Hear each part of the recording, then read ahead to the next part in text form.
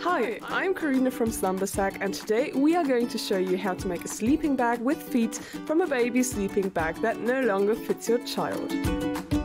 It's very easy. With a little skill and experience on the sewing machine, it shouldn't be a problem. First, spread out the baby sleeping bag on a large table. We use a paper pattern in our production to mark and cut out the shape. At home, you can use a medium-sized dinner plate instead. Place it halfway on the zipper and halfway on the bottom edge. Draw the curves where the little feet will stick out later and a line parallel to the bottom edge. Cutting across the zip with scissors is a little harder, but it can be done. You will need some cuff fabric for the elastic cuffs. This is very stretchy and available in every fabric store. Two rectangles are cut from the cuff fabric so that the child's foot can easily fit through once the fabric is folded. The cuffs are then sewn together to form a tube.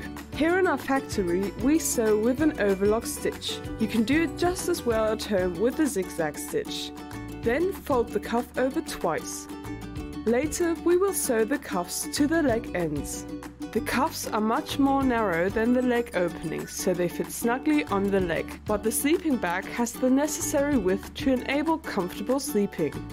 If you want to save yourself having to sew the cuffs, you can use a pair of old socks as an alternative. Just cut off the feet and sew them on instead of the cuffs. Now we're ready to assemble everything. First we need to lock the end of the zip with a lock stitch on the sewing machine, so that the zip puller cannot slide out. Now sew the two layers of lining and outer fabric together, which makes it easier to sew on the cuffs later.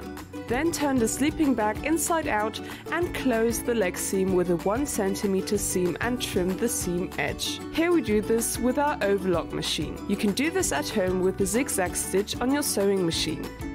Now turn the sleeping bag right side out again and sew the cuffs onto the sleeping bag with an overlock or zigzag stitch. This is an elastic seam that accommodates the stretch at the cuff well. And the sleeping bag with feet is ready.